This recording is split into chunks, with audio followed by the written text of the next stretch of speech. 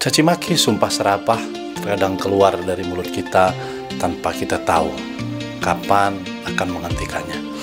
Itulah yang disebut dengan respon reaktif yang muncul karena suatu peristiwa yang barangkali tidak kita sukai atau barangkali yang membuat kita tidak nyaman.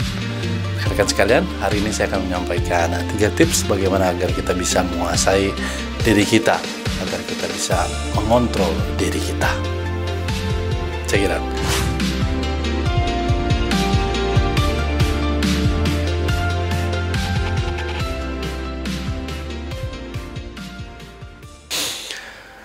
Kita tahu bahwa kita ingin selalu terlihat prima, terlihat baik di mana pun kita berada dalam lingkungan mana pun kita berada. Oleh karena itu, kita harus mewaspadai sikap-sikap reaktif yang muncul secara tiba-tiba karena suatu peristiwa yang mungkin kita tidak tahu kapan datangnya. Semisal ketika di jalan mobil kita diserempet atau barangkali ketika berkendaraan motor kita yang diserempet atau tiba-tiba ada yang melintas di samping kita sehingga kita kaget dan buat kita nyaman. Kadang-kadang kita mengeluarkan sumpah serapah yang sebenarnya kalau diberi pilihan tentu kita tidak ingin menyampaikan sumpah serapah tersebut. Ada tiga tips yang ingin saya berikan, barangkali bisa kita terapkan. Jadi ada sebuah quote menarik sebelum saya menyampaikan. Pertama, jadilah kuat dan kuasai diri sebelum keadaan menguasai Anda. Oke, saya akan sampaikan dan lanjut. Yang pertama, kita harus mencoba melatih sikap emosional kita dalam tiga tahapan. Yang pertama, kenali watak dan karakter diri kita ada orang yang suka memendam permasalahan, ada orang yang suka meledak-ledak, atau bahkan mungkin ada orang yang suka menyampaikan permasalahannya melalui candaan dan atau mungkin ada juga orang yang hanya diam saja apabila ada suatu permasalahan. Semakin kenal kita dengan diri kita, semakin kenal kita dengan siapa jiwa dan karakter kita, maka tentu akan semakin mudah kita untuk mengelola diri kita. Ibarat kalau kita beli sebuah kendaraan, kalau kita baca manual booknya, tahu jenis kendaraannya, ban apa yang dipakai, velgnya ring berapa, mesinnya kapasitas berapa, olinya berapa liter, tentu akan semakin mudah kita untuk memelihara, untuk menjaga kondisi mesin dan kondisi mobil itu tetap prima. Nah, sama seperti karakter dan diri kita, kita akan mudah memaintenance diri kita, memelihara diri kita kalau kita sudah kenal dengan siapa kita, bagaimana emosi kita, apa kesukaan kita, bagaimana cara berpikir kita. Karena manusia itu pada dasarnya melakukan sesuatu sesuai dengan apa yang biasa dilakukan dan apa yang dia pikirkan. Nah, oleh karena itu, yang pertama, kenali dulu siapa diri kita. Coba, kira-kira kalau saya tanya, Anda orang seperti apa? Oke, sudah Anda jawab? Nah, jika Anda sudah tahu, katakanlah Anda menjawab, oh ternyata saya orangnya suka marah-marah. Nah, mulai sekarang coba cari cara agar apabila ada suatu peristiwa yang tidak Anda sukai, sikap marah-marah itu bisa diatasi dan bisa Anda minimalisir.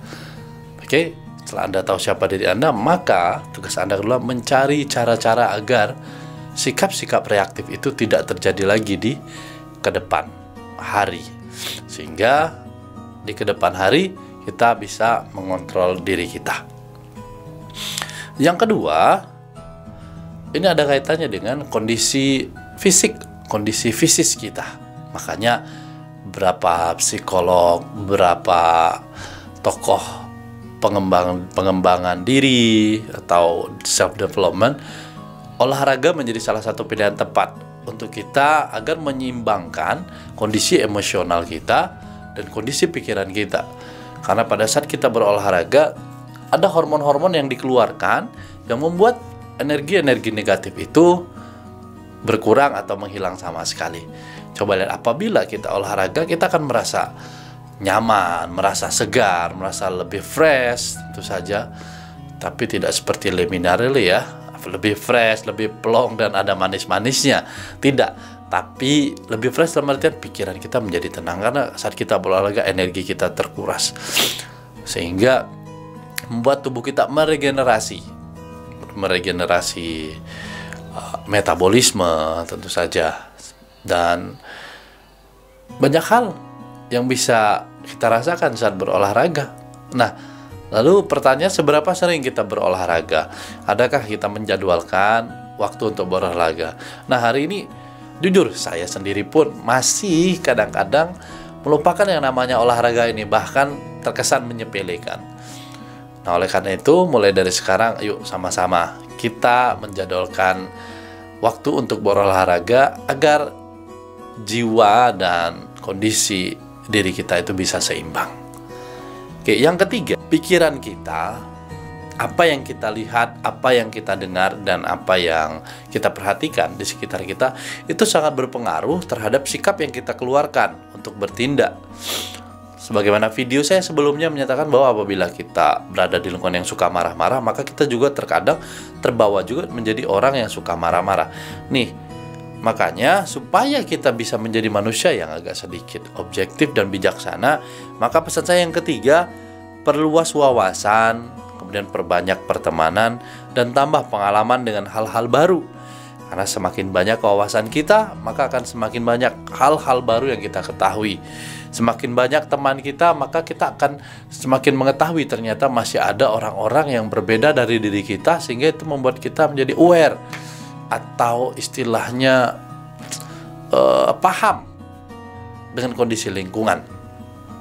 Dan yang ketiga, Apabila kita sudah seperti itu, maka pengalaman-pengalaman kita akan bertambah, akan terus tumbuh, membuat diri kita lebih lapang dalam memandang, kemudian lebih luas dalam berpikir, dan lebih tenang dalam bersikap.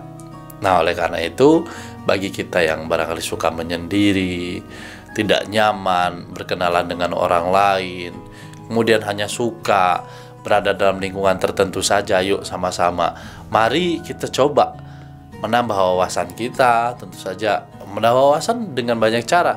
Bertanya dengan guru, membaca buku, melihat internet atau menonton YouTube. Kalau menambah pertemanan juga bisa melalui media sosial. Atau pesan saya lebih baik kalau berteman ini kita berteman secara langsung tatap muka agar ada interaksi yang terjadi. Nah, dengan interaksi itulah kita akan merasakan energi-energi positif akan masuk ke dalam jiwa kita. Dan ketiga pengalaman. Pengalamannya ya banyak hal, banyak banyak cara untuk menambah pengalaman. Kerjakan hal-hal baru, kemudian pancing diri kita untuk menyukai hal-hal baru, hal-hal yang selama ini belum pernah kita kerjakan coba dikerjakan. Tapi tentu saja jangan juga mengerjakan hal baru yang sifatnya negatif, tapi kerjakan hal-hal yang positif.